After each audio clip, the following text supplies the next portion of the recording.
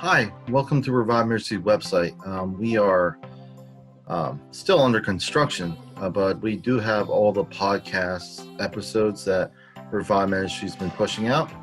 Um, also, if you like to navigate, there's also a blog. I haven't really put much in there yet, but also there's um, ways that you can contact me. You can always chat on the chat function, or you can also um, just um, um, request uh, fill out the contact information. I'll get back to you.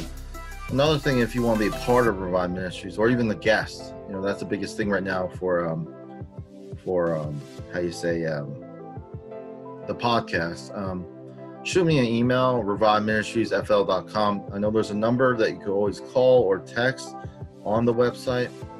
Um, let me tell you a little bit about Revive Ministries. Um, is essentially under the medical missionary umbrella, but it's focused on on um, more on the wellness when it comes to mental and emotional um, well-being. And uh, the thing is, um, a lot of the Revive Mercy focus, you know, before when we did a lot more local events was on, uh, and it's not limited to mental health, suicide prevention, uh, substance abuse, suicide, um, what else? Um, human trafficking, sexual abuse. There's been a lot that we've been covering. Um, so our whole thing is that um, we want to we want to encourage and to promote and to share stories about recovery um, that um, and provide a safe place.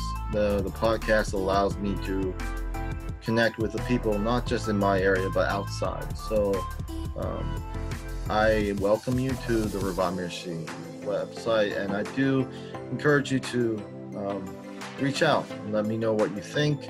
Let me know what you, if you want to be a guest or anything, any comments. Um, I, um, I hope you have a great day. Um, we're going to be, I'm going to be continuing to uh, expand um, my um, my videos and stuff like that. But this is the first welcome to Revive Ministry website official video, and I just want to encourage you to utilize all the functions. Listen to some of the podcasts I do encourage you to, and it's a learning curve. I'm learning, you know, some of the things that you know that uh, we realize is that I am. Uh, it's not about being right.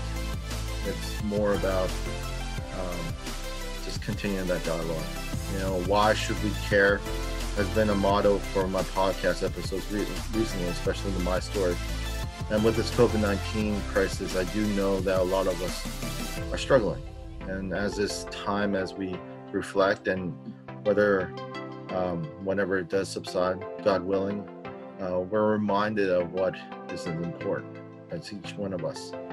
Um, I want I understand that me being one who had and still has mental illness, that can be a struggle. But your value doesn't hinge on you being 100% or that you don't make a mistake or that everyone likes you. It just continue a dialogue because everyone's story is different. And that's what we're trying to share. Um, someone's good news can be someone's bad news. And I do encourage us to continue the dialogue. And um, this is just goodbye and welcome to the website. And um, until next time.